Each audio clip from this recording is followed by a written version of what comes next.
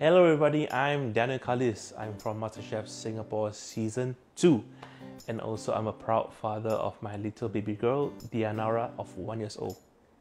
And right now, I'm actually planning to start my home based business page at Danial Khalis, my full name actually.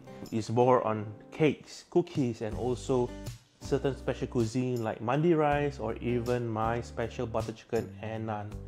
I first got introduced to Thermomix uh, during season one, which my during my mom's season, but then um, it's more of just viewing it.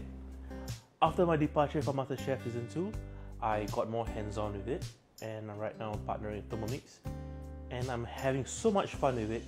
It has helped me greatly. With my baby girl running around, I can't really keep both eyes on her and, and food, so it has given me a sense of ease where can actually take care of her and prepare meals for the family. It is just really so simple that you can just do everything in one go.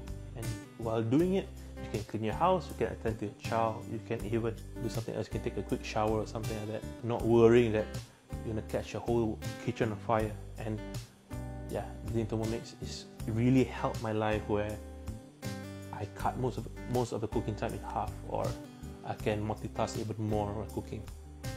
Today I've made butter chicken and naan with the Thermomix. The reason why I choose butter chicken was because during my wife's pregnancy she craved of it so many times and because of this it butter chicken is actually very dear to my heart because it brings me back to memories where the journey of my wife's pregnancy and also having the joy of having my daughter brought into this world it it is something that I will never forget it is one of the happiest moments in my life and yeah, I think this is why butter chicken is very dear to me. We recently moved in to my little HDB flat.